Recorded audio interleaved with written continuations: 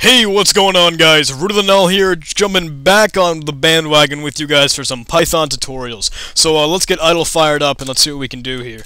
We have been recently working with uh, some string functions, and we've imported the string module and we've been able to uh, do a lot of tests with boolean and that sort of thing, boolean functions, and uh, test whether or not the string is made up of uppercase or lowercase letters, maybe even some numbers and that sort of thing. So today we're going to be doing that once more but we're going to be looking at it with space characters, or white space.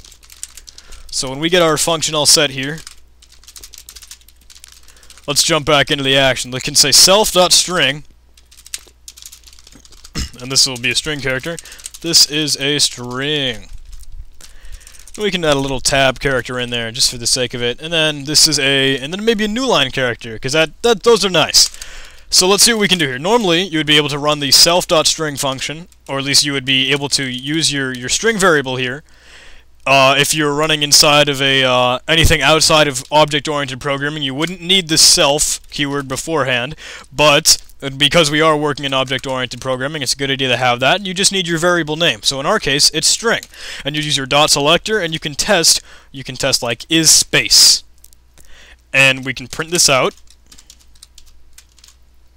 we can run this and we get false because we do have this uh, is a string this exclamation point and all this other junk in here that doesn't mean anything but white space. They're all they're all actual characters. So if we run this though now we've got a space character we've got a tab key we've got some more space characters we've got a new line we've got some more space characters. This should run perfectly fine. Yeah exactly. It runs and it's true. Anything in this string is full of a space character. So uh, let's try it. Let's try and recreate this all on our own. Let's create a new function and then I'll define is space and then the string to look through. So now we can loop through it again for character in, string to look through.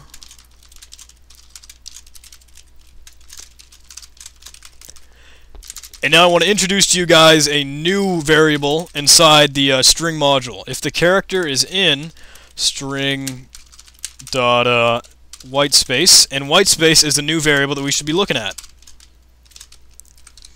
White space is, let's first of all, let's import string. I'll show you guys inside the interactive shell here. Import string, we can have string, and then if you dot white space, it's a string full of a tab key, a new line character, some other things that, like character, line feeds, and that sort of thing, and spaces, and these are all things that don't have any actual, like, alphabetical or numerical value. It's just, it's just white space. It's just a blank like area or a blank character. So if we import string inside of our script here, we can give this a go. If character is not in the whitespace character though, that's when we have a problem. That's when we're going to want to return false.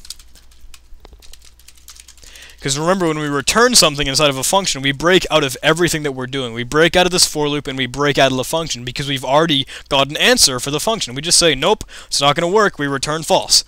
But when we're done looping through it all, and if we haven't found a problem, we can just go ahead and say, yeah, that works fine. We can return true. So uh, let's try this in our own words now. Let's do uh, print, so we can display self.isSpace, because remember this function is a local function that we've created ourselves inside this class.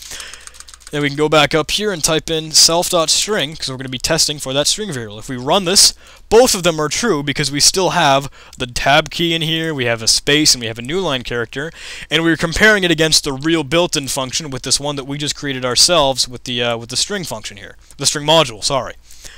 So if we added, let's say, a random A in there, though, it's going to have a problem because now you've got something that isn't white space. It's going to have a hissy fit. So, but yeah, there you go, guys. This is another simple idea. It's just looping through the string and taking a look at some of the things that we've already predefined that are white space, and then we can decide whether or not the string that we're looking for contains these characters or not.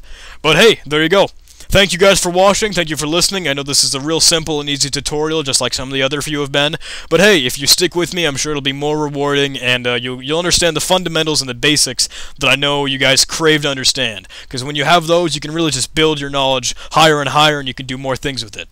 But Anyway, thank you guys for watching, though. Thanks again. It'd be nice if you could like the video, maybe leave a comment, let me know what you think. Tell me what other subjects or some other ideas that you might want me to cover, some other functions that I could explain, or some modules that you might want me to go in depth with, and that sort of thing. And maybe subscribe. I don't know. If you want to see more things from me, it's definitely a good idea. And I will see you guys in the next video. Bye.